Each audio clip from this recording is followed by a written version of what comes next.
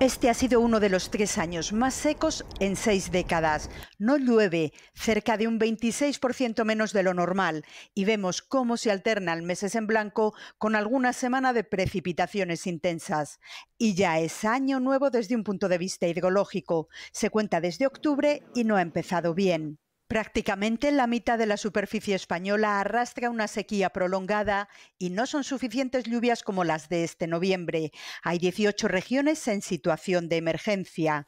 En la cuenca del Guadiana, por ejemplo, hay varios puntos el marco excepcional por sequía. La escasez afecta allí a más de 200.000 personas de Castilla-La Mancha, Extremadura y Andalucía. Un año en situación de emergencia llevan en la cuenca del Guadalquivir. Se ha tenido que bombear agua de algunas partes del río para garantizar el suministro por la baja capacidad de los embalses. También ha habido cortes de agua nocturnos y 514 municipios catalanes están en situación de alerta.